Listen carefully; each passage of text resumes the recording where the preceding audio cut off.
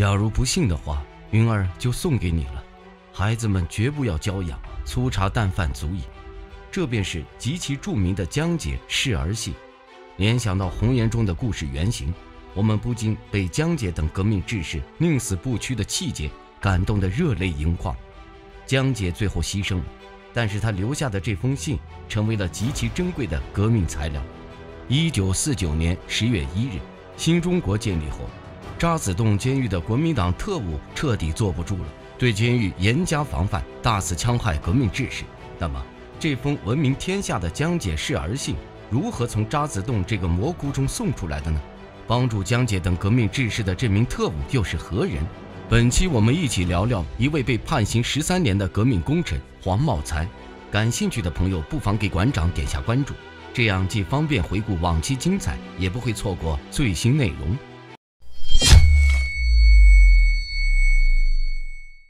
当黄茂才刚成为渣滓洞看守的时候。监狱狱长没少向黄茂才训话，说监狱里的罪犯都是大奸大恶之人，一定要对他们用凶用狠。然而，为何不久之后黄茂才变成了一个同情革命志士的人？这其中的缘由要从黄茂才的家庭出身说起。黄茂才是四川自贡人，祖父两辈均为贫农，家中生活不易，依旧竭力支持黄茂才读书。尽管只读了个初中就结束了学业。但在当时算是半个知识分子，这为他日后能做出自己的判断奠定了基础。黄茂才初中毕业没多久，父亲就因病去世，不得已，黄茂才只得回到乡下，一边照顾年迈的老母，一边娶妻生子，做一个庄稼人该做的事。此时的黄茂才才感到世道的混乱，因此只想像自己的祖父两辈一样，做一个老老实实的庄稼汉。尽管田野生活甚是辛苦，但是不至于丢掉性命。好歹有一个完整的家庭。不久之后，黄茂才一厢情愿的美梦就被打破。国民党开始四处抓壮丁，黄茂才不想被抓去，便投靠当地与国民党有关系的地主刘崇威，寻求一份差事。然而，黄茂才只知道这位地主和国民党有关系，却不知道他是国民党特务头子。一九四五年，黄茂才进入渣滓洞监狱，成为一名看守。不久之后，黄茂才被刘春威授予少尉军衔。被提拔为监狱五大看守管理员，负责监狱放风、收风工作。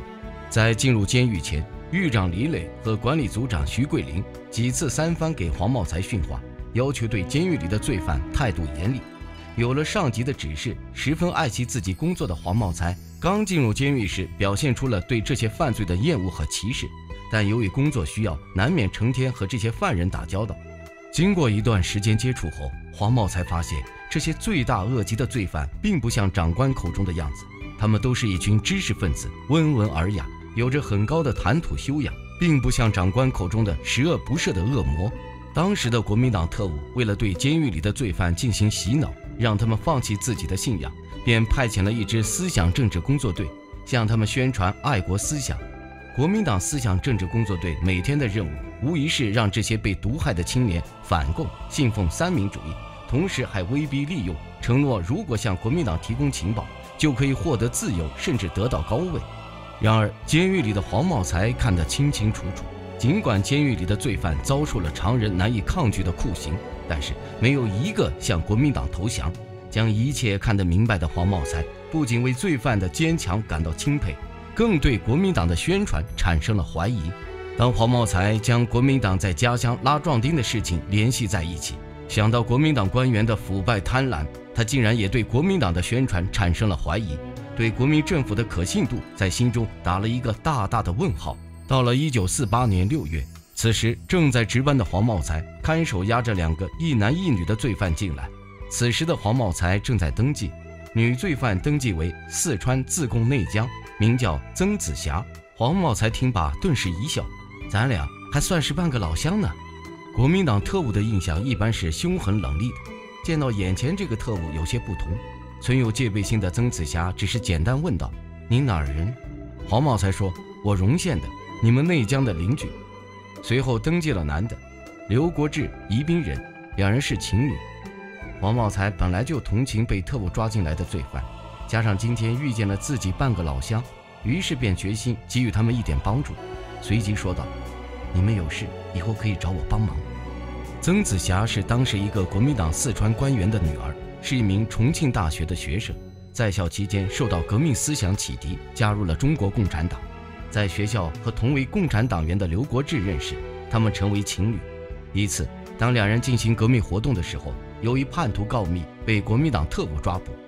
刚刚进入监狱的曾子霞两人对黄茂才存有戒心，但是黄茂才依旧给他们清扫监狱里的垃圾，还不时给两人提供帮助，从监狱外面带进来一些吃的。黄茂才的举动让曾子霞对他的态度发生了转变，决定对他进行宣传教育。黄茂才贫苦的出身，使他对国民党统治下底层百姓的艰难看得清楚，加上已经对国民党的宣传产生了怀疑，因此曾子霞对他的争取应该困难不大。那么，什么原因让曾子霞放下对他的戒备呢？由于黄茂才负责监狱放风收风工作，曾子霞两人便趁着放风的时候跟黄茂才套近乎，唠家常。经过一番交谈，两人了解到黄茂才的贫苦出身。并没有受过国民党特务系统的教育，只是被国民党特务头子稀里糊涂地送到了渣滓洞当看守。曾子霞两人对黄茂才的印象好了许多，便开始对他进行宣传教育。不久之后，黄茂才的思想教育工作取得进展。曾子霞教育几次黄茂才后，决定对其展开试探。一次点名时，曾子霞走过黄茂才身边，偷偷将一张纸条塞进黄茂才的口袋里，并悄悄说道。仔仔细细看纸条上的话。回家之后的黄茂才立即拿出纸条，只见上面写道：“为人民做好事。”第二天一大早，天刚亮，黄茂才便开始前往监狱，询问曾子霞为人民做好事的意思。曾子霞便向黄茂才表示：“为人民做好事，就是尽自己力量为监狱里的同志提供帮助，对待狱中的同志不要态度凶狠。”黄茂才听罢，一一答应下来。一九四八年七月，渣滓洞迎来一位重要犯人，他就是小说《红岩》里的原型人物江姐，令人肃然起敬的江竹云。这天正好轮上黄茂才值班，当他登记信息后，看到江竹云这个名字，内心不由得肃然起敬，因为在二处多年，他第一次见到自己上司许元举如此暴跳如雷地从审讯室冲出来，恼羞成怒地将江姐送回了监狱。在审讯的时候。江姐被特务们施以酷刑，什么老虎凳、辣椒水等酷刑都在江姐身上过了一遍。但是尽管如此，国民党特务依旧难以从江姐口中得到半点有用的信息。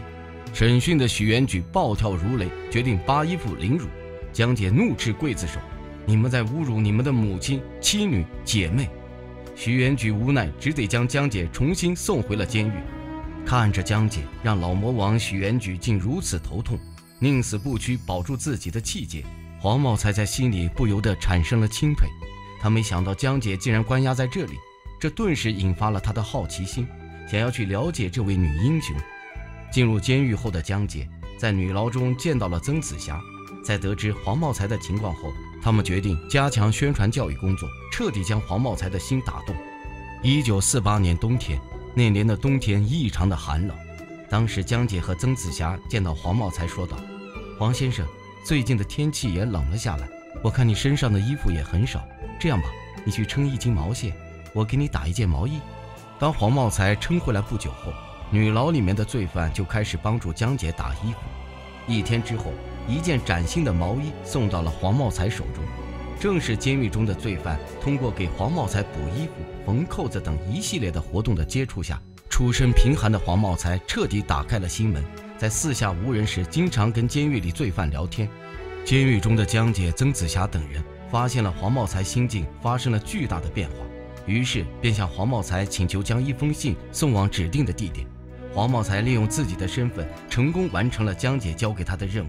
自此之后，黄茂才得到了监狱里江姐、曾子霞等人的信任，成为了监狱内革命志士同外界的第一联络人。重庆解放后，黄茂才本可以留下党组织任职，但他心中觉得愧疚，便辞去了党给他的职务，回到老家。然而，1952年，黄茂才曾经在国民党监狱任职的经历被揪出，被当地政府抓捕入狱，与党组织脱离联系的黄茂才如何证明自己的清白？1949年下半年，随着解放军一路凯歌下，位于重庆渣滓洞的国民党特务紧张起来了，他们不由得加快对监狱革命志士的迫害行动。在一年多的时间里，黄茂才多次给狱中同志送信。由于黄茂才行动的次数多了，自然引起了监狱狱长的怀疑。正在这时，黄茂才接到了家书，信中表示母亲病重，望回家一见。得到家书的黄茂才潸然泪下，拿着家书向监狱狱长请假，征得了狱长的同意。临行前，黄茂才不忘记向江姐告别，询问江姐有什么需要捎带的消息没。黄茂才的殷殷告别让不怎么送信的江姐动容了。在平时，江姐担心狱中对外唯一的联系人黄茂才暴露，很少让黄茂才给自己带信。想到自己离就义的日子已经不远了，于是便托黄茂才给自己带一封示儿信，将这封信送到重庆中山公园育才中学，交给表弟谭竹安。黄茂才拿到信之后，顺利送到了谭竹安手中。但是令他没想到的是，这竟是他帮江姐送的最后一封信。十一月十四日，江姐与三十一名革命志士被国民党特务杀害。此时家中的黄茂才不知道，他再也见不到自己敬仰的那位女英雄。十一月十八日，黄茂才回到了监狱，没能见到江姐最后一面的他，穿着江姐打的毛衣，一个人望着曾经那个牢房。不由得流下了眼泪。正当黄茂才沉浸在江姐被杀害的悲伤中，监狱狱长便将他遣返回乡。